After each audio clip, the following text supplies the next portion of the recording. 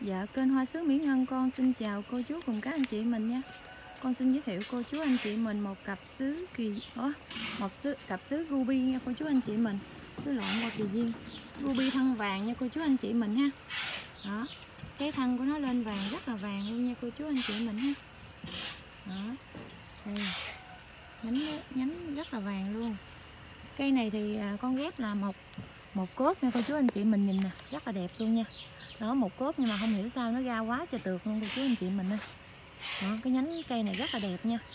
Đó, cây là chỉ một cốt thôi nhưng mà cái bộ tàn rất là đẹp luôn. Ruby thân vàng, cô chú anh chị mình về chơi thời gian thì mình có thể chiết ra củ vàng nha. Mình chiết nhánh nó sẽ lên vàng. Đó, hai cây đều là ruby thân vàng nha cô chú anh chị mình ha.